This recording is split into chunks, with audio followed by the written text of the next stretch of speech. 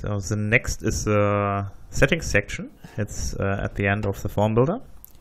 You have an access control, you have a time range and a spam protection now.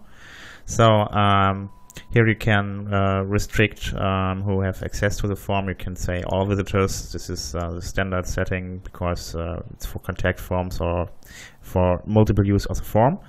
You also can select all members of the site or selected members of the site, and you can forbid multiple entries. This is important for um, surveys. If you're doing surveys, it's not good if the people can answer the survey a second or third time. Um, so you can block it here. At all members of the site, you can just block the member. So, and the last point is selected members of the site. You can invite the people here um, who have um, who should have access to the form. So you can invite them here and uh, add them here and you can also forbid multiple entries.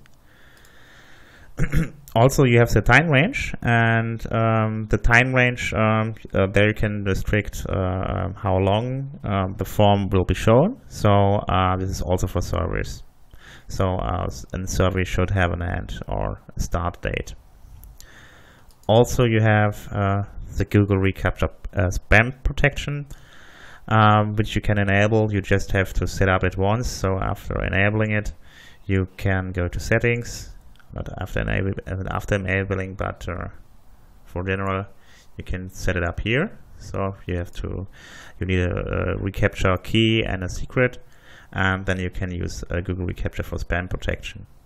So also you can do your own settings. So we have an API, so you can uh, check it out on our on our website at torro-forms.com and uh, do your own form setting, and it will add a known option uh, to the tabs.